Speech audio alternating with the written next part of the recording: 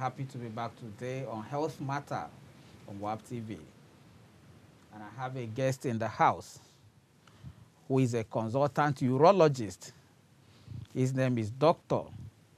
Opeyemi Taiwo Alabi. He was with us last week in the very first show we had in 2022. And of course, for those of us who were able to watch that particular presentation, the topic was kidney stones, otherwise known as renal calculi. Okay.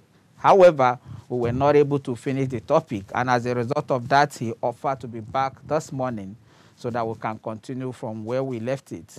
Okay, so I'm going to give an overview of kidney stones. Okay, before we put our focus on him to continue from where we stopped. Okay, so what are kidney stones? Okay, let me make an attempt to explain for the benefit of those people who may not have joined us. Okay, so what, what is kidney?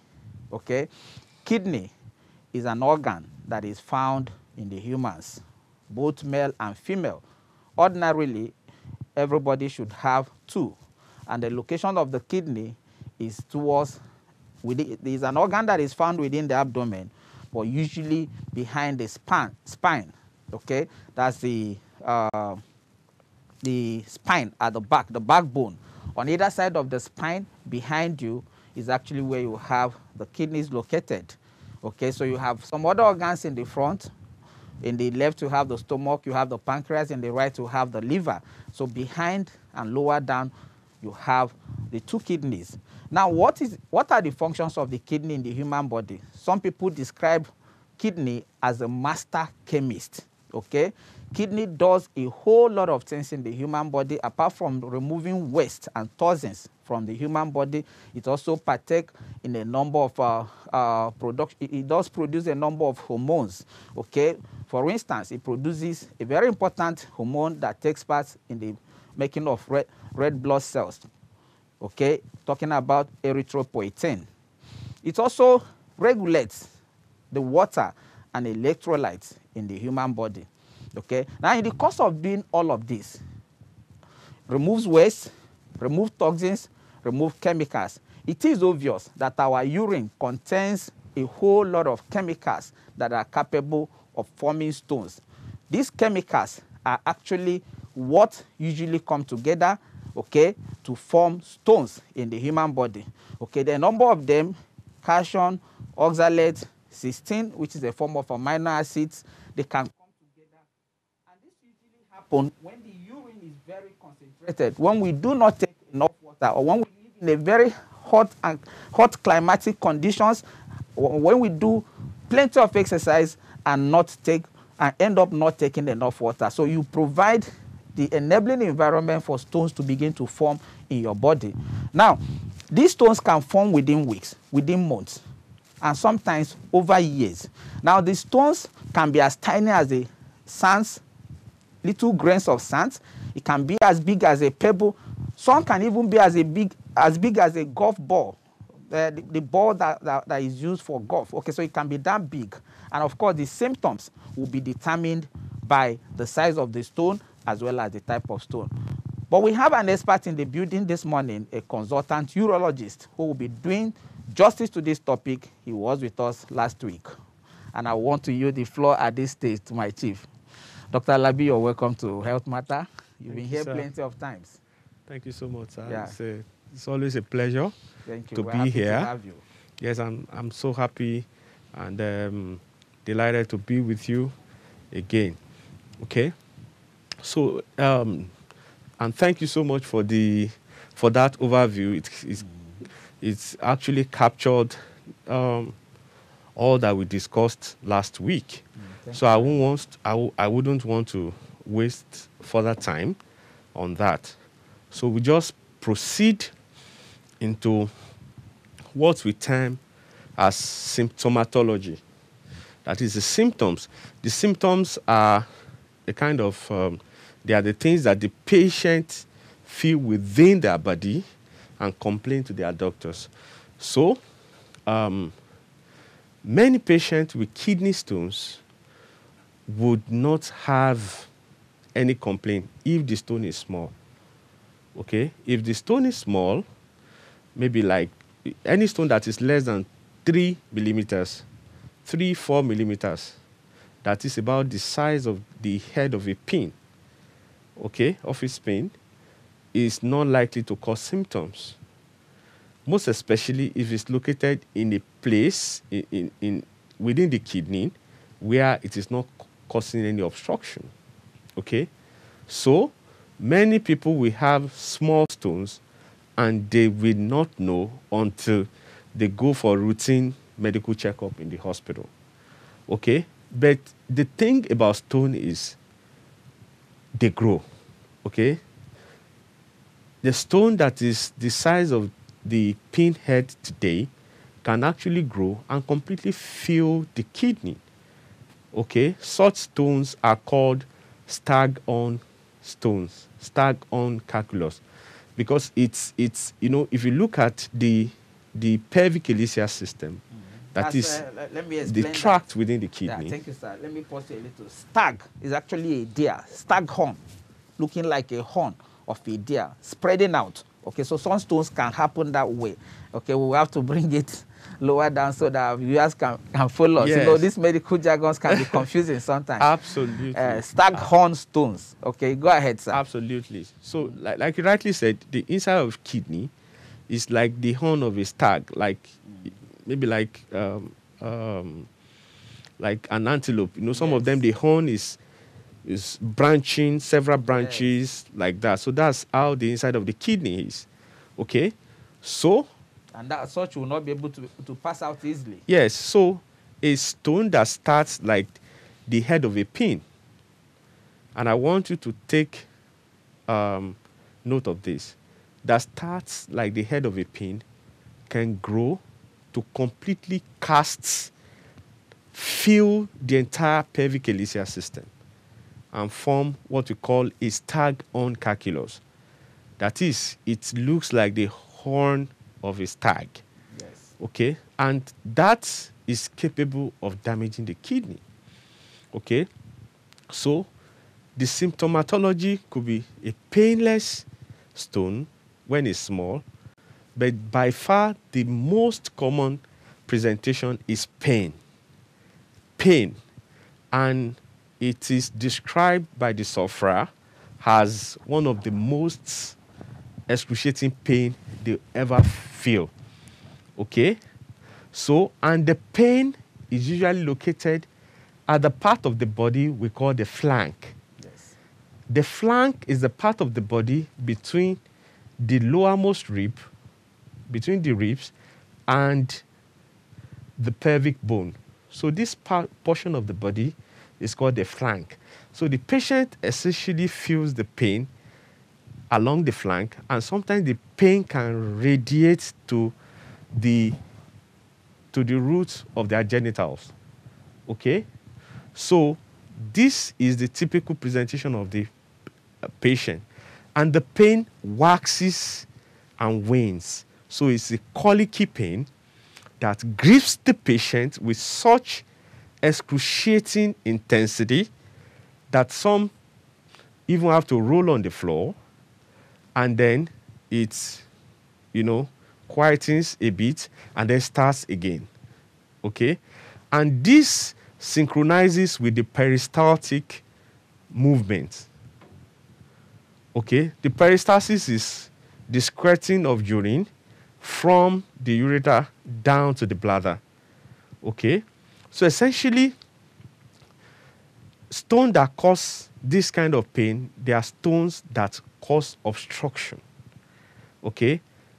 When such stones are formed in the kidney and then they pass into the pelvis, then through the neck of the kidney, that is that's what we call the PUJ, then into the ureter. And sometimes they get impacted, they get stuck that they cannot move further. So they create a kind of dam effect, what we call the back pressure effect, so that the urine that is produced within the kidney is not able to go down. Okay? So, and because of that obstruction, the ureter does not understand it, why it cannot push urine down. So it continues to increase the pressure of its contraction, the squirting effect, to overcome that obstruction. And that is what brings the pain to the patient. And so, as this continues, the pressure builds in the kidney. Okay, when the pressure builds like that, this encourages infection. And so, some of these patients can prevent with features of infection fever, okay, they can present with fever, then chills and rigor. They'll be having chills, they'll be shaking, okay? So, features of infection, and then some they, they at that level can present also with nausea, eh, one or two episodes of vomiting, and then then when this obstruction has been sustained for quite a while, it can damage the kidney. Okay, sometimes the, the, the, the, there's a part of the kidney which is the weakest part, which we call the fornix. You know, at this at the edge of the uh, papilla, it can rupture, and infected urine can actually go outside of the kidney and spread around the kidney. Okay, what we call and uh, the, the perinephric abscess. Okay, so it could ultimately lead to the damage of the kidney. And in some patients, if, and it's not so uncommon to have stone forming in the two kidneys. When stones are formed in the two kidneys and they drop at the same time into the ureter, a scenario we call doubly impacted ureteric stone, it can completely obstruct the flow of urine and present with what we call acute kidney injury, acute renal failure. Okay? So, some patients can present with blood in their urine because if you see the stones microscopically or endoscopically, you see they have what we call spicules. Some of them have spicules. Okay? Uh, most especially the, the, the calcium uh, oxalate um, dihydrate.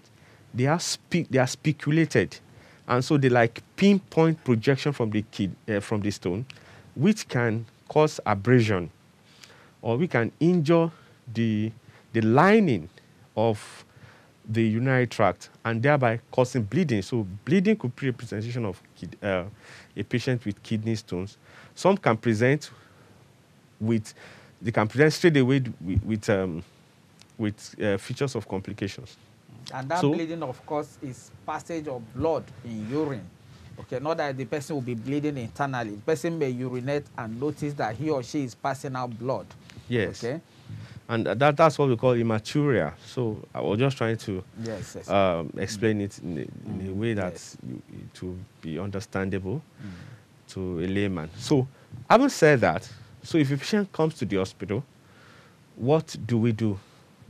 If this patient that is presenting with such small stone that was accidentally discovered during routine checkup, such patient will have to embrace the what we call stone prevention, uh, stone um, prevention um, protocol. Mm, But before you get to that, we usually hear of uh, bladder stones also. Uh, is it that these stones are also forming in the bladder, or is it the stones that formed all the way in the kidney and then gets to track down through the ureters into the bladder?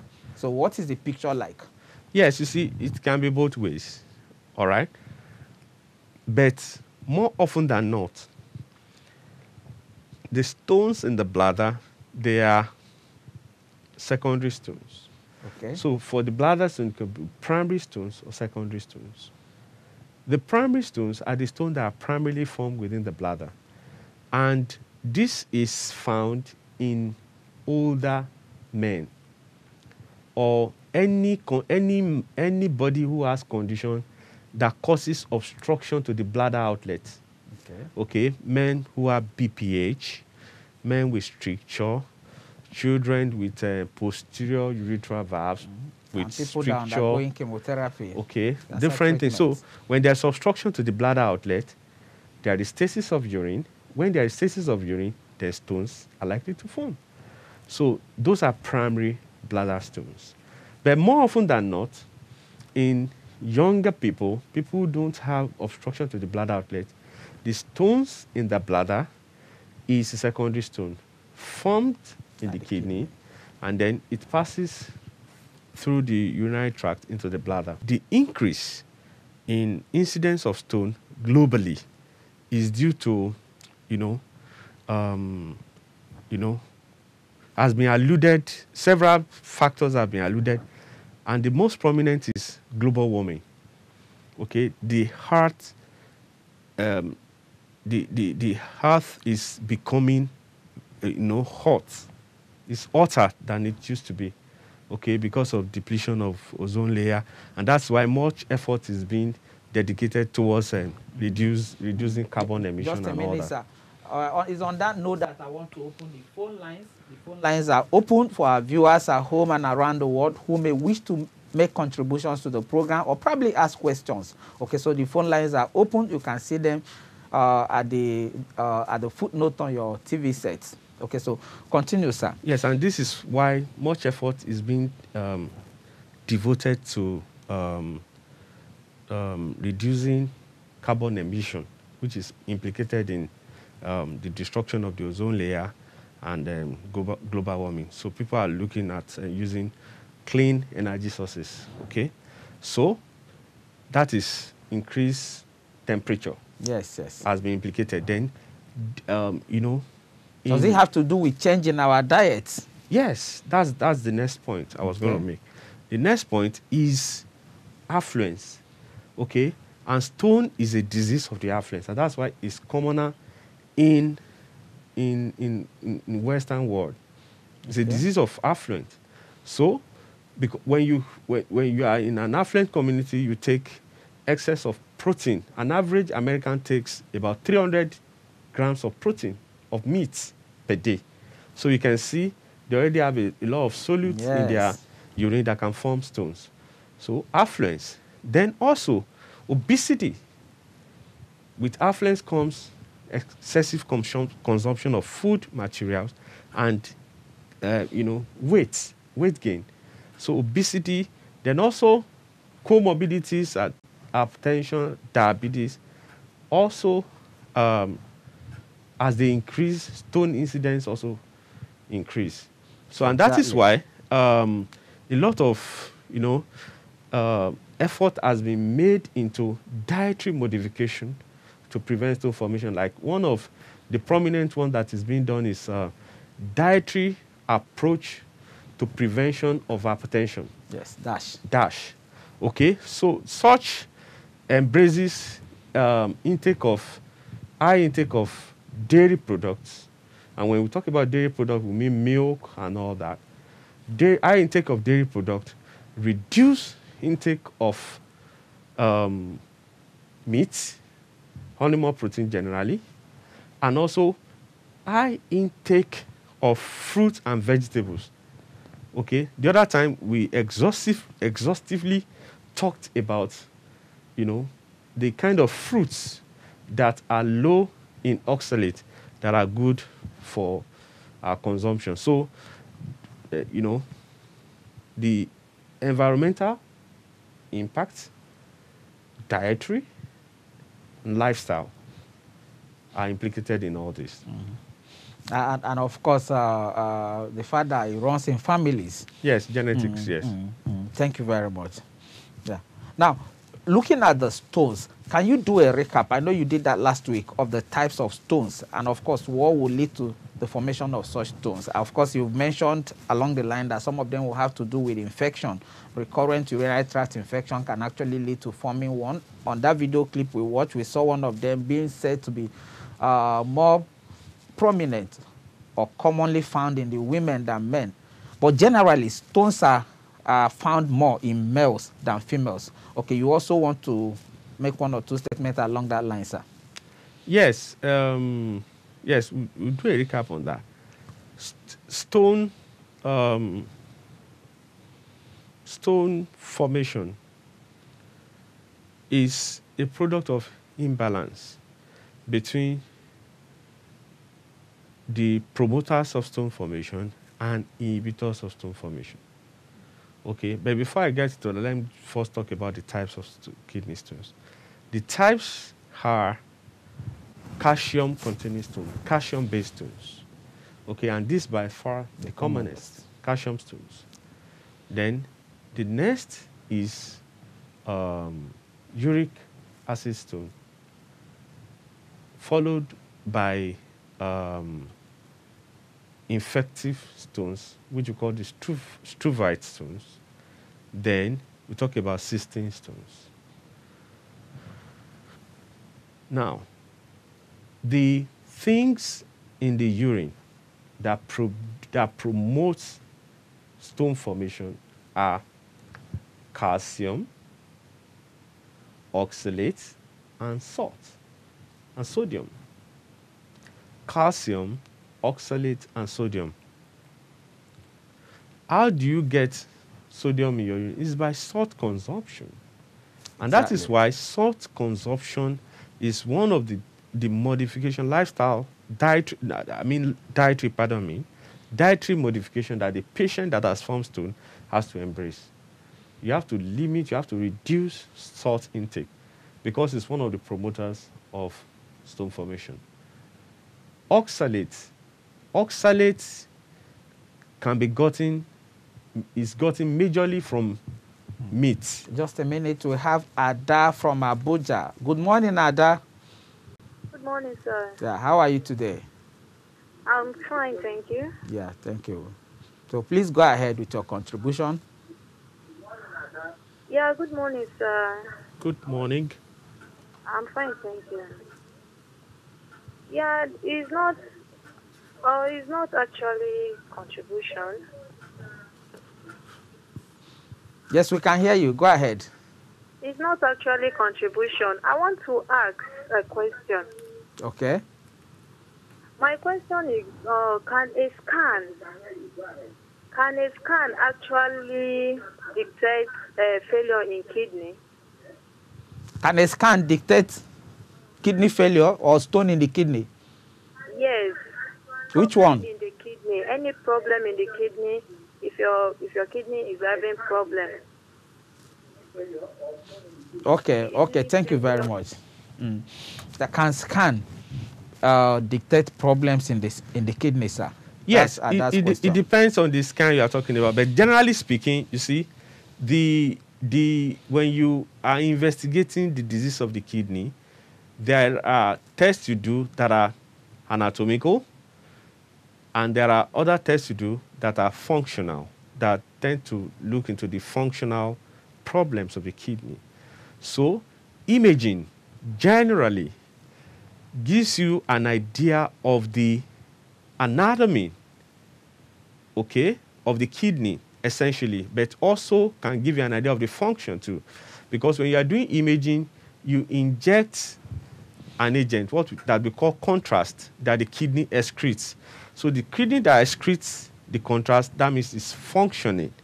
Okay, but when the contrast is um, excreted, then it gives you the idea of the pelvicalyceal anatomy, which can give you so many other details. Okay, so it depends on the scan you are talking about. There is CT scan, that is com- computerized axial tomographic scan. Okay, there is ultrasound scan. Okay, so both of them, ultrasound scan can show you the anatomy of the kidney, can show you if there is a mass in the kidney, if there is stone, if the kidney, the pelvicalyceal system is dilated, it can show you so many things. But ultrasound, except a contrast enhanced ultrasound, may not give you an idea of the function. You can only hazard a guess based on one or two things you see. Okay, but CT can be both can give you both the functional details and anatomical details. So that's so much. Thank you very much. Yeah, so you were doing a That's about recap on types of kidney stones. We have Johnson from Lagos. Good morning, Mr. Johnson. Good morning, sir. Yeah, how are you today? I'm fine, sir. Yeah, please go ahead. Please, uh, uh, I found out that, that uh, my right side chest, as in the Can you speak louder, sir? in my rib, my rib, at the- my, in my right rib, upper side. Okay. I used to find some things like some internal pain that injury there most of the time. So I did scan. They said they, they didn't say anything there. So I even let's go and do some CT, something kind like that. They said maybe I likely have um, heart, uh, heart, uh, heart attack, or do I have anybody that have attack my family? So I don't know. If that could be kidney stone or I don't know. Yes, can you just out? Okay, so but the the the pens usually is on the right side of your body, if I got you correctly. Yes, yes, yes. Okay. It's the body, it- it- it- Okay. Thank you very much. Yes. Uh, you see, the right side of the body, there are so many organs there. Okay. Even sometimes, if you do X-ray and you see something like look like stone on the right hand side, doesn't mean it's from the kidney. There is also a gallstone. Okay. Exactly. There's a gallstone. The liver is there. The gallbladder is there. Okay. Then the the the kidney. Then the the the right hepatic flexure, where the ascending colon curves on the right side is there. Let's pause a little. Mohammed So from Sokoto. structures. Good morning, Mr. Mohammed. Uh, good morning. Yeah, how are you today? Uh, fine, sir. Okay, so please go ahead with your question or contribution. Uh, my question, I, I, I have a question to ask. Mm. Uh, my question is that uh, I have been to hospital. They say I am having uh, uh, uh, bladder stone. Okay. So I don't know, does bladder stone has a relationship with kidney stone? If it has, then I need m- more explanation about it. Thank you very much. We've actually talked on that, but I'm sure doctor will do a recap. Yeah. Yes. How old are you, sir? Uh, 45, 45. Do you have any difficulty passing urine? It's like so, I have. Yes. So you see, um, we spoke about that the other time. The the stone, the formation of stone in the bladder, it can be in two ways. Firstly, it can be a stone that was formed in the kidney that dropped into the bladder. That is called a secondary bladder stone. When the stone is dropped in the bladder, it starts growing and gets bigger. Okay, that's a secondary bladder stone. Whereas the other option, the second type, is a primary bladder stone. And that is seen in men who have obstruction to their bladder outlet. When they have obstruction to their bladder outlet, they are not able to completely empty their bladder. That's one of the many symptoms. So, when you don't completely empty your bladder, the crystals that form stone, they aggregate and they form stone within the bladder. Okay? So, and that is why I, I, I put across that question to you uh, whether you have uh, obstruction to the bladder outlet. And of it might course, be due to age. prostate, it might be due to stricture, urethral stricture, and all. So, I think you need to be thoroughly evaluated by your doctor and then necessary treatment um, offered. Or possibly you can also see a urologist if you have one around you. Okay, so that will make your make the the treatment a lot easier. Mm. Okay, so back to the question you were trying to answer the last time. Mm. Before the other question came in, I think there was one that we didn't finish dealing with. Okay, uh, I think it was from. Um, The one that talked about um, uh, the yes, you see, the on the right Mm. side, on the right side, also your lower ribs are there. The muscles, there is a huge mass of muscle on the on the right side. Some patients have actually had musculoskeletal pain, and they come, you know, they are afraid. They don't know whether they have um, kidney stones because that's the same location of the stone. So we need to find out is the history, examination, and appropriate investigations that will guide us. So we cannot do justice to that on this program. Thank you very much. Now, you need to see your urologist. Now, talking about, uh, since we have delved into that, what are the common tests that can be done in a hospital setting or a diagnostic center to make a diagnosis of kidney stones? Just an overview. We're not going into details. So um, I think uh, I, I, I spoke about Yes. that a little bit. Yes, yes, you've dealt So with some of the, them. The mainstay of diagnosis of a patient who is suspected to have kidney stone is helical CT scan, or what we call CAT scan, computerized axial tomographic scan. Okay, non-contrast, non-contrast helical CT scan. That is the mainstay of the diagnosis. Thank you very much. I'll pause here a little. Your namesake, me from Ogun State. How are you today? From Lagos State, are you too? Okay, Fine. from Lagos. Thank you. Sorry about that. Yes. So go ahead. All right. Yes. The thing is that yeah, I have a question. I'm fine. We can hear you. Go ahead, ma. Yes, I have a question. The question is that can it possible for someone to have one kidney? Okay. I said, can it possible for someone to have one kidney? Yeah, we got it. We got you. Okay. Any other one? Uh, that's my question.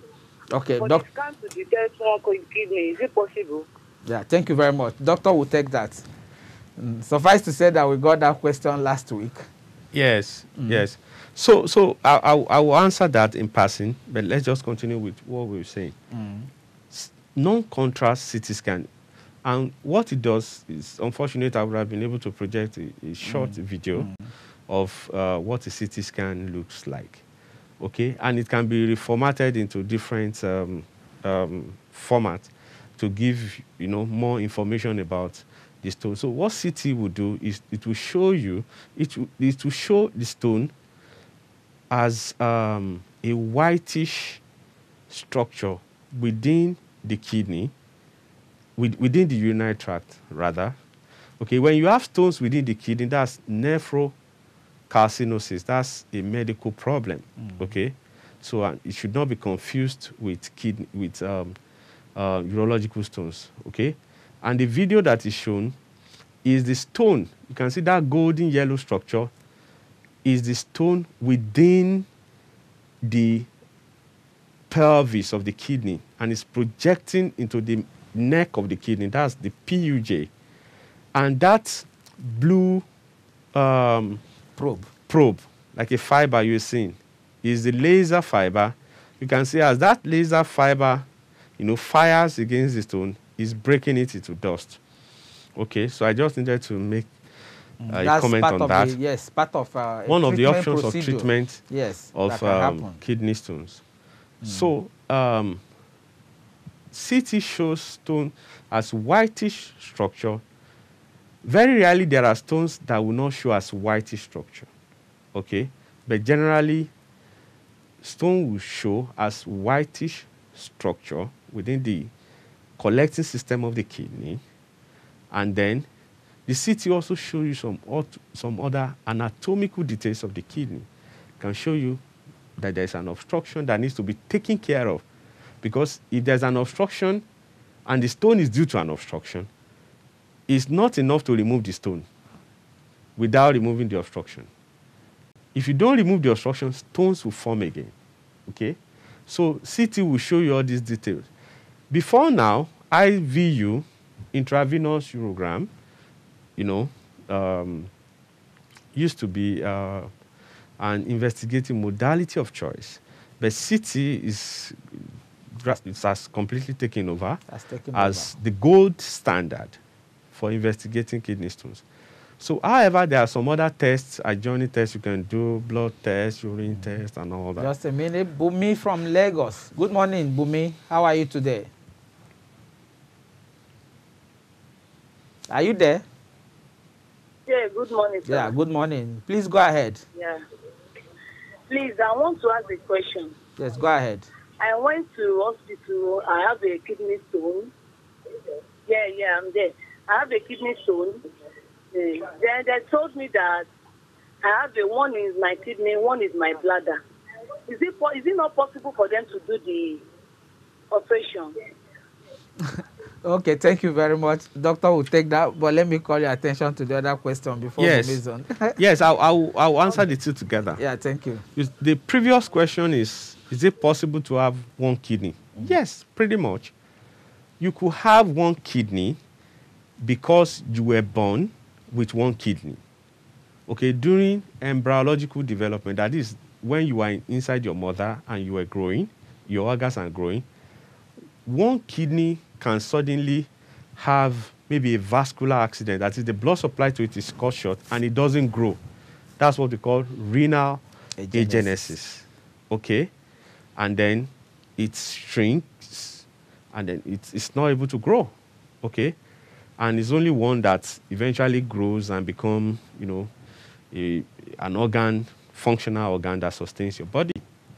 Okay? So, and also, some people can have a disease, like if you have stone in one kidney that is dropped into the ureter, that completely obstruct that ureter, damages that kidney. So, even though there are two bean shaped structure, you know, in your flank, one is completely damaged, it's still there, but it's, it's been damaged. So, that is a functional solitary kidney. That is, you have two kidneys there, but one is only one that is functional. So functionally, you have one kidney, even though anatomically you have two kidneys. And one can also donate. Yes, some people can donate, and by that they have one left. So solitary kidney Mm. is possible, and if you have one kidney, it can work for you. There are two videos actually. This one, you can see that golden yellow structure. That's the stone. Okay. The other blackish structure is that was the guide wire. But you can see now, you see that blue structure, probe. Okay. It's a fiber actually. That's what we call laser fiber. And you can see as we are firing it towards the stone, is fragmenting the stone, is breaking it into dust, fine particles that can easily be washed out by the urine produced by the kidney. Okay, you can see that stone, it's completely obstructing the, the is filling the entire lumen of the ureter. Yes, the space. That's the ureter. It's completely filling the space. So that it's difficult for urine to pass around that stone. And that's how it completely obstructs the kidney and damages it. So, and that takes me to the question of the lady that asked whether surgery could be done concurrently, could be both- done at the same sitting uh, for, For both kidney for and both bladder. kidney and ureter. Mm. Yes, that is the advantage of the current technology that we have, even at our disposal in Lagos Eh, here. I'm Okay? afraid that's the much we can take for today. Thank you so, so much for coming around for a second It's time. always a pleasure. Yeah, thank you very much. So, viewers, we'll be back next week.